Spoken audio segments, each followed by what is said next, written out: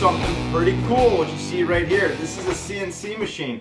Yes, it's in a house, it's for a homeowner. I mean, the price point on it is a lot lower than I would expect. Uh, Dan spent a lot of time setting this thing up, learning how to use it. So I'm gonna actually let Dan take it away and kind of go over this whole thing. All right, cool. You guys, real quick, fast. This is the X Carve. Like Eric said, it's a it's a home CNC machine. You could use it for uh, industrial stuff too. I'm sure. I mean, it's pretty rugged. But the mm-hmm. thing is, is most CNC machines are 25, 3500 and up. You know, X Carve from Inventables. They're in Chicago. Sent us out this unit, but you could get into an X Carve for roughly seven, eight hundred dollars, and then work your way up from there. This is the uh, a bigger model that it comes with, and we also did an optional of a different router, which we're going to go into in a second. But basically, you get it and you have to assemble it. And I think, you know, uh, before I got this, I knew nothing about CNC machines, routers, anything like that, okay? It's been a a learning curve and a learning experience. But now that I've had it up and running for a month or two, I really like it. It's a new hobby of mine. It's something that I love to do. It's relaxing. We've been periscoping at night, just having this thing running. People have just been watching us make signs, all kinds of stuff. And I feel like just the, ha, since you do have to put it together, you get a pretty good idea of how the machine functions,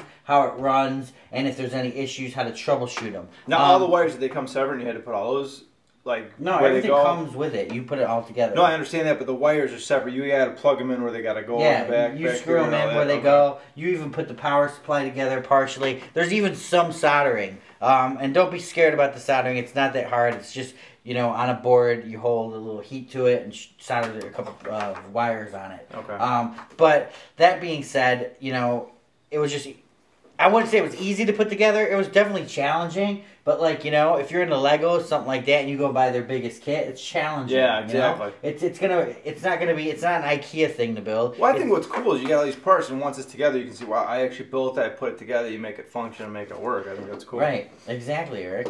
And uh, you know, like you said, we just put it together, and uh, I've had a lot of trial and error with it. A lot of you guys have seen us on Periscope have the trial and error. Uh, I'm going to go over a few of the issues that we had first, but I want to say the forum over at inventables.com is just awesome. I mean, you go there and ask a question within minutes, usually you have a response. Um, and they have all kinds of different projects over there. I've got a lot of projects like these clamps, Fletcher guitars. That guy made these, and he just shares them through a program called Easel, which is another way. This is gets you can get into this easier with the program Easel. What it does is it makes it easy for you to design and print your own uh, um, design. So you load it into the software and psh, good to go. Right, right, and it's got its own software. You can make quick signs with text. It's got a few shapes in there and stuff. But uh, if you know anything about it, SVG files, you can import SVG files into it. So it's like a vector file. Oh, um, but there's definitely a lot you can do. I would like to see you know, easily expand. It's going to. It is online. You have to have internet connectivity to work it. You're saying the software expand? Yeah, gotcha. because there's certain things I want to be able to do, like just change speeds and stuff like that. But we're not going to go into that now. We'll get into that in a different video.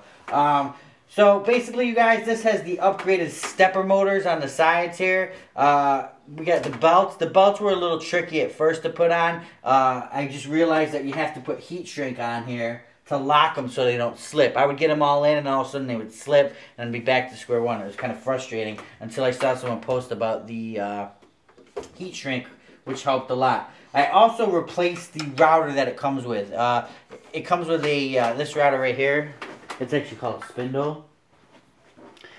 Now, there's advantages to this one too. This one can be controlled by the X Carve to speeds up and down. This one I can control oh, manually. Oh, okay. Yeah, like that you'll put in. It, I'm cutting MDF, so it'll figure out all those uh, equations for you and take you know the hard part out of the equation. So basically, I put the uh, DeWalt DWP 611 router on there, and I gotta say, it kind of really rejuvenated this machine.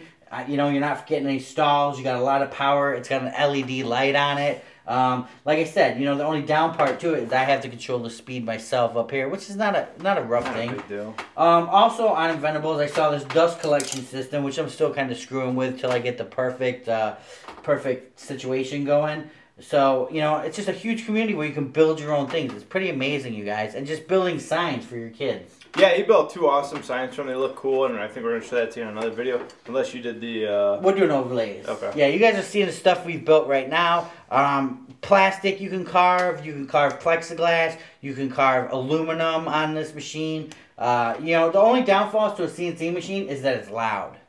Mm-hmm. You know? Yeah. And uh, one thing you got to learn about a CNC machine, which I'm learning just from the forums and stuff, is before every run, it's like an airplane. You got to have checklists.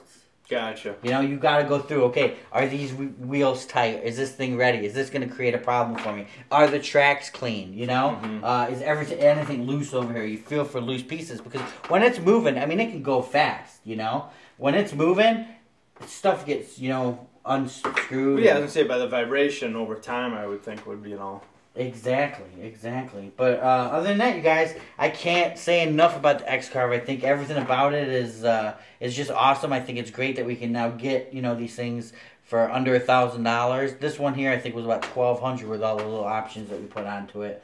But uh, I mean, it's just it's just a cool thing to have, you guys, and it's it's more than just a machine. It's a hobby. So Yeah, and the stuff. It seems like it's pretty much unlimited what you could design and build. Yeah. I mean, it seems that that's what I like about it. Absolutely, absolutely. And like I said, you know, you're gonna put this. You're not gonna put this together in an hour. I mean, it probably took me a good f- four or five nights working on it, three to four hours each night. You know, taking my time putting something together. You know, typical tools in action. I put it together backwards. I have Yeah, to take it off. You know, forget to put this in. You know, but hey, that's the learning curve. You Yeah. know, they, they have videos online that show you how to put it together. But the good thing is, if you ever have a problem, you can actually replace it yourself. You can pretty much diagnose it and fix the problem right, Right. away. And you can find the parts you need, and you just go online, inventables.com, and you know it's got a warranty. They take care of it. They're right here in Chicago. Um, so I can't say enough about it, you guys. It's very cool, and we're gonna make a lot of cool stuff. Uh, and you're gonna start seeing it in our videos and stuff Yeah. like that. And I hope to have more X Carve videos because I'm just gonna start churning out ideas. So, anything Cool. else you need to add? No, I mean no. All right, cool. And then another real quick thing, you guys. Uh, one thing when I first did get in this, I felt kind of like out in the wilderness because I didn't have the right bits. You know, you can buy starter bits, but uh, these bits right here, you guys, these quarter inch bits, I found on Amazon. They're like fourteen dollars each. Yonico seem to be the best for this DeWalt How many router. bits do you get for it with it? Well, you just get like a five pack, but they, Okay, they come in 14 like the three eighths Gotcha. shank or whatever. okay. Um, so you get these sticker bits, and man, I've just been carving like crazy with this DeWalt, just going through. it. I mean, there I just keep wanting to carve, carve, carve, but right now I'm on hold because I need to design a better dust system because the DeWalt is blowing a lot of air through the bottom. So someone on Inventables actually came up with a dust diverter. Which I'm waiting for plastic tomorrow. I'm gonna print it out and I'll probably show it to you at the end of this video. So, all right, you guys. cool. Tools in Action, click the link below. Go check out Inventables. Let us know what you guys think of the CM mach- C machine or CNC router, and let us know um, what you guys uh, want to see made. All right, Tools in Action.